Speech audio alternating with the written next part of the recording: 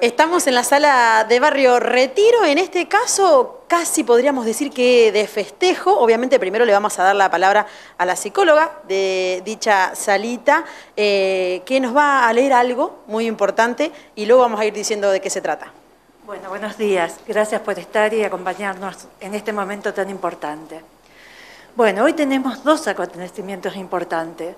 Uno tiene que ver con el CAPS y el otro con Daniel médico de nuestra sala.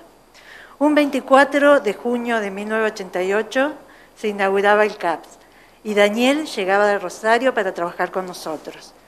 En ese momento recibimos un compañero y por motivos de ciclos despedimos un amigo. Después de 32 años de trabajar juntos y de haber compartido más de la mitad de nuestra vida con momentos de discusiones y consensos, tristezas y alegrías, van a quedar huellas imborrables que lo caracterizan. El autor de todas las bromas, con humor increíble y con enojos increíbles también, con una memoria prodigiosa, pero hay algo que lo pinta entero y tiene que ver con esa cohesión que logró en el grupo ante ciertas embestidas externas. Me voy a permitir contar una anécdota.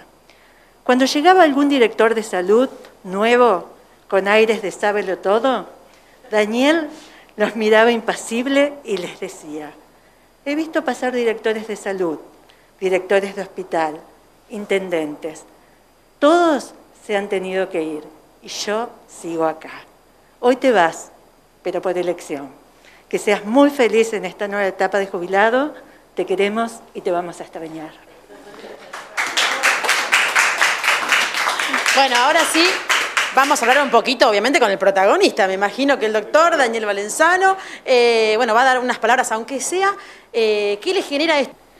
¿Qué tal? Buen día. Sí, eh, digamos que toda despedida tiene un, barniz melancólico, ¿no? crecimos juntos, somos más que un grupo, somos familia. La, la definición de, todos estos años, permiso, es que somos una familia. Eh, estuvimos más tiempo entre nosotros que con nuestros parientes en realidad. Vi crecer, vi crecer los hijos de muchos, vi ser padres a esas abuelas, es decir, pasamos una vida acá, es imposible borrar y cambiar esa situación. Eh, no sé si a, adiós, hasta siempre, nos veremos, eso decide la vida. Eh, lo que sí quiero decirles a todos, muchas gracias, y muchas gracias a ustedes por estar en este momento. Gracias.